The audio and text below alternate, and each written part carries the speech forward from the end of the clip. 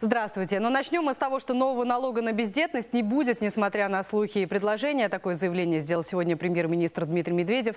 По его словам, никаких планов по введению такого вот налога не существует. Тема закрыта. Вместо этого стимулировать рождаемость продолжат в рамках программы материнского капитала. Ей уже воспользовались 5 миллионов семей. Кстати, практика начисления сборов на холостых и малосемейных граждан существовала и в Советском Союзе. Налог составлял 6% от зарплаты.